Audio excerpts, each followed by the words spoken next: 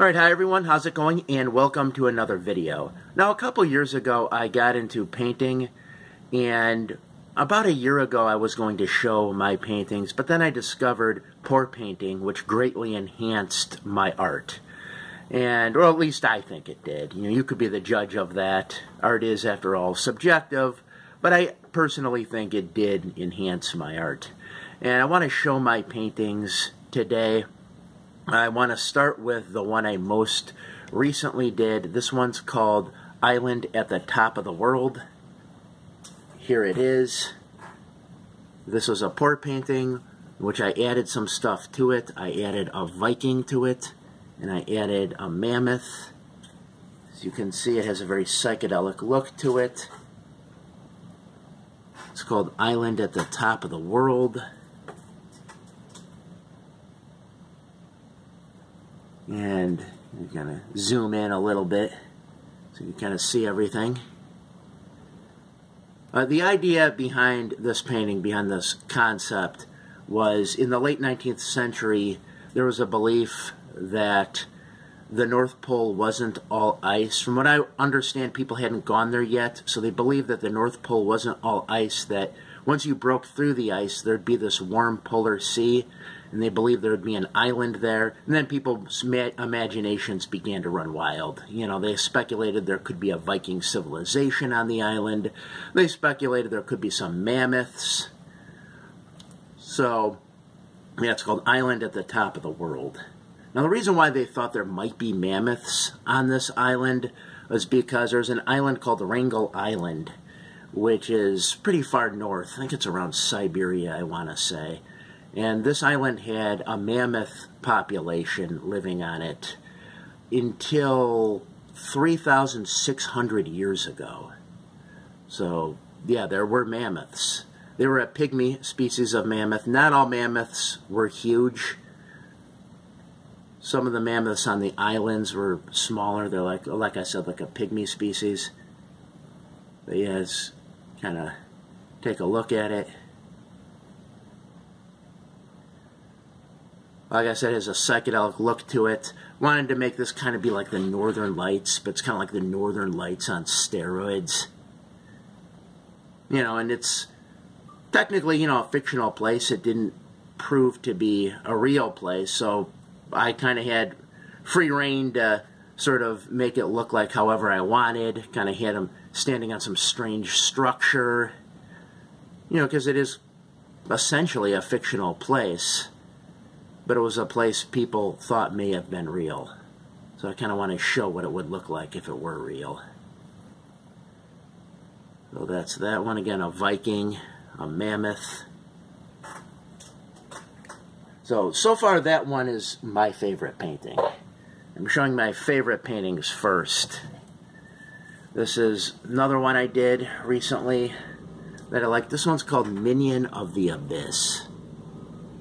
As you can see right there, there's a dragon-looking creature. Psychedelic. Now, I consider my art to be psychedelic art, and what I like about psychedelic art is the fact that, you know, it could be a psychedelic exaggeration of this world, or it could be the way things look in another world. You don't know. It's kind of esoteric and mysterious like that. And I like that in art. I like things to be esoteric and mysterious. Because nowadays, a lot of times, they'll sort of spell everything out for you. You'll watch a movie or listen to music, or in, you know, there's, there's not that mystery anymore a lot of the time. You know, they, they lay everything out for you, tell you everything, how it is and there's none of that mystery. But it's that mystery that makes the art mysterious and cool, in a sense. I mean, it really is. The art needs that mystery, I feel. It needs that, like, esoteric mystery. So, you know, you're not supposed to entirely know what's going on in it. You know, people will ask me, well, what's what's going on here? What's what's he doing? What's he? You know, I'm just like, no. You know, it's that that takes away from the essence of the painting in a sense. Uh, yeah, this one's called, like I said, close up Minion of the Abyss. My second favorite painting. Moving right along, this one right here is my third favorite painting. This one is called Writer at the Edge of Time. See, I listen to a lot of metal and progressive rock when I paint. You know, Hawkwind and different kinds of bands. As you can see, I'll get a close-up of the writer. Kind of a dune-like environment he's in.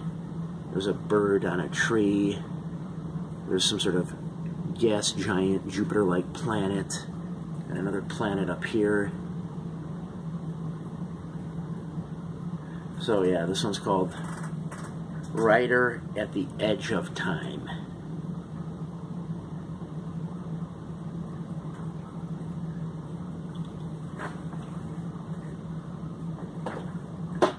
Yeah, I'm also a guitarist and I play guitar. I want to get more into it again. I was going to start up again, but then, you know, I really got more into my painting and I just got to try to balance both those things out now, you know, because I do like doing both. And that's why you could kind of see, you know, some of these paintings have titles that kind of seem like they'd be progressive rock songs or metal songs. But this one right here I call Summerland kind of like an Eden-like utopia. Again, it's the same thing I said where you know you're not sure if it's this reality or if it's another dimension, another world, and this is just how things look there. Now, when I did the pour for this, I got some good cells. That's what I did like about it. And I did varnish this one as well. But yeah, there's like a snake and some flowers, a rhino.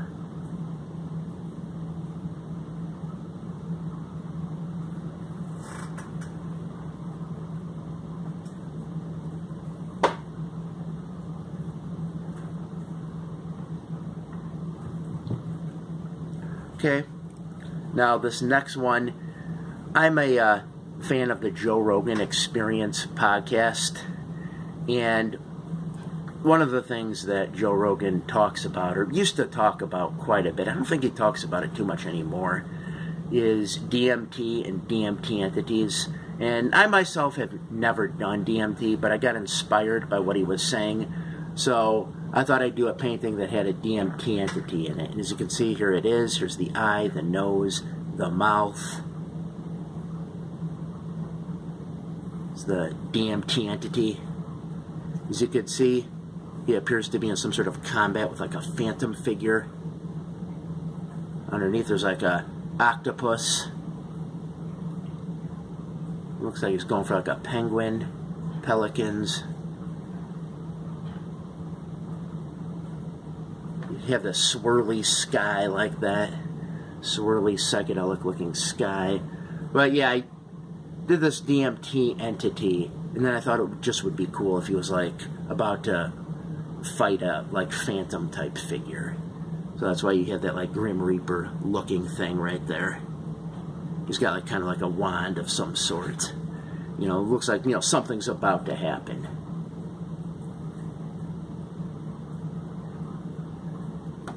Let's get a close up on that octopus.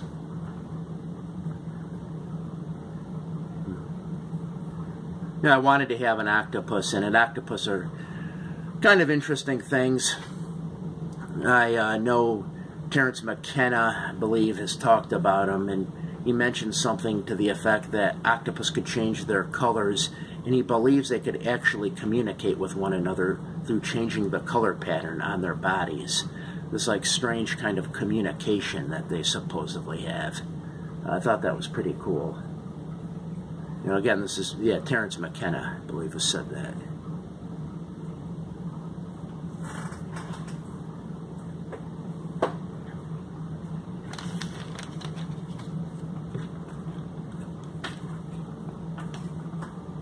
Okay, here's another one right here that I did. This one is called Spring Pond.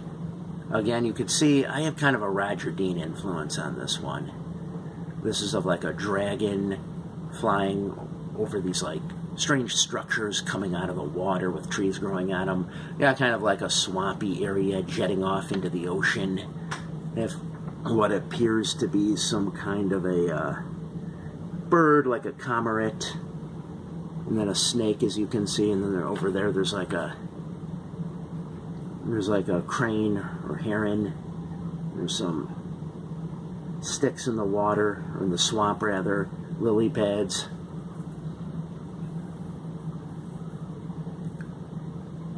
But yeah, and then, you know, of course, the dragon, as I just mentioned, flying over all that. Spring Pond is the name of this one.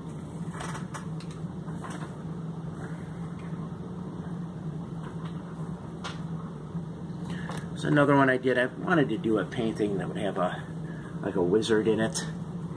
So I did this one. As you can see, there's a wizard right there. He's pointing at some sort of interdimensional door. And right here you have a cauldron with some entities coming out of it. Some dragon-like entities, some sort of goblin-looking thing, a ghostly entity. People have looked at this painting before and kind of felt that it seems kind of like Disney-like. And yeah, I don't think that's a criticism, but uh, does kind of maybe look like something that would be from Fantasia or something that sort of has that look to it.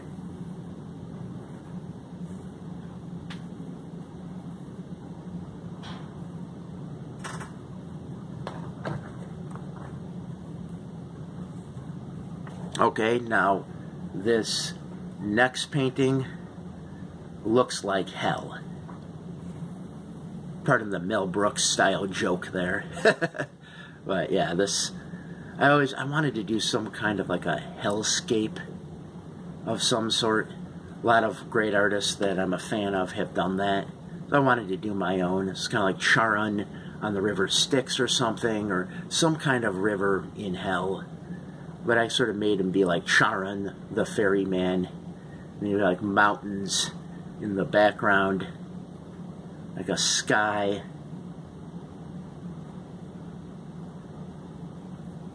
You know, I wanted to give it that sort of hellscape kind of appearance.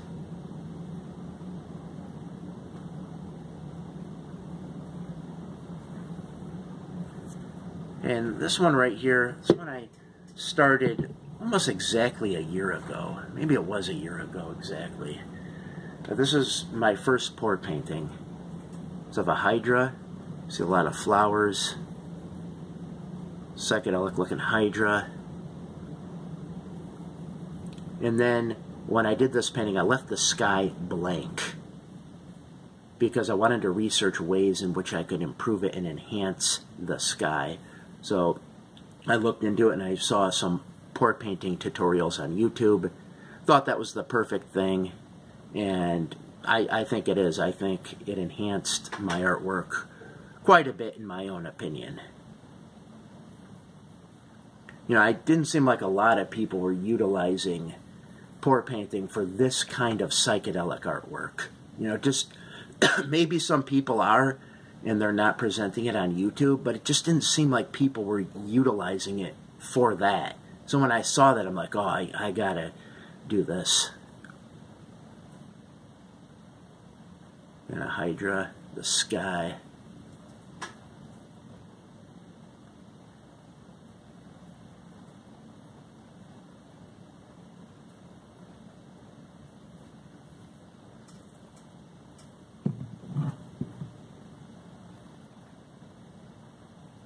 Okay, now I really want to show another one of my pour paintings. This one right here off kind of like a guy astral projecting. There's a silver cord. Here's the guy's astral projecting into like another realm where there's of course a dimensional door. I like dimensional doors in my paintings. then up top of it some kind of pyramid structure and you have some swords. Psychedelic part on there. Some orbs by the door. Kind of like an energy field. Just kind of wanted to do one of the astral plane. you know, and uh, as you can see, the guy's like going for what appear to be these swords right here.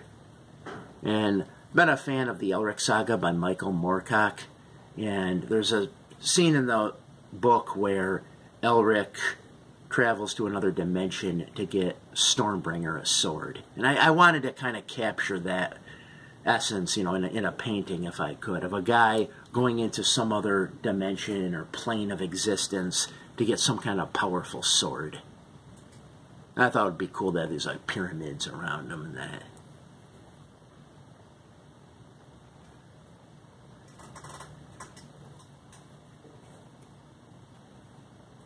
Okay, now here's another one of my early pour paintings. This is painting that's a bit abstract, as you can see. Now, I'm not the biggest fan of abstract art. However, I do think pour painting makes for the best abstract art. You know, if you must do abstract art, I think pour painting makes the best kind of abstract art. But I, I like adding things to the abstract art, thereby making it psychedelic art in my opinion. See, there's a face there, kind of like a face, sort of a bird.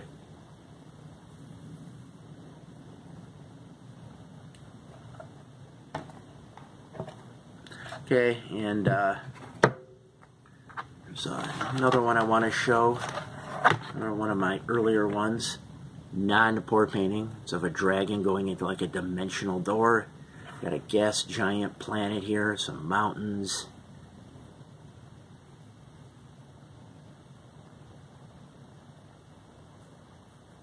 Again, maybe I was watching a lot of Game of Thrones when I did this.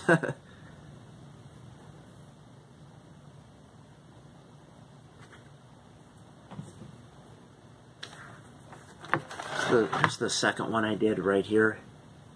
Again, this is inspired by the artwork of Roger Dean. Always liked that Asia album cover he did, so I kind of wanted to do something sort of reminiscent of that. Of a sea creature looking right into like a lighthouse.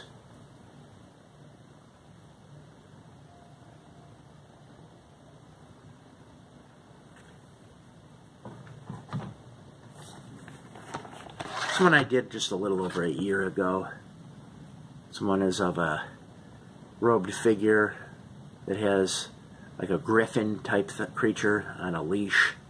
The sky's red. Now I cannot look at this painting now without thinking of the movie Phantasm. There's a scene where those guys are wearing those robes and the sky's red and there's like a dune area around. I can't look at this without thinking of that. Phantasm. Really reminds me of that. And that wasn't intentional. But now I look at it, I just think of that. If you haven't seen Phantasm, it's a good movie. It came out in 1979. There's been some sequels, but I recommend the first. I haven't really seen the sequels. Maybe I might have seen a little of, bit of the second one. There's a space painting I did. Yeah, and I think pour painting can enhance your space paintings. You could do planets better, I think. Uh, this is before I did the pour painting.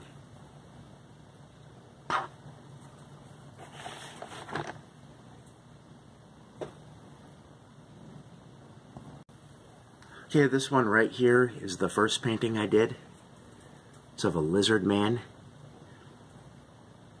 It's in a frame, so there's a little bit of glare. And of has sort of an impressionistic look to it, I think. You know, almost like if one of the impressionists were to do a painting, although they wouldn't do a lizard man. but yeah, has that kind of look to it. Lizard man, yellow sky. Again, I'm going for the psychedelic appearance and look. I didn't really, I didn't know about pour painting at this time. So, you know, I probably could have done a better painting if I knew of pour painting at this time, but yeah, this is my first. There's another one I did that's more abstract. I don't have too many abstract paintings. This is another more abstract one.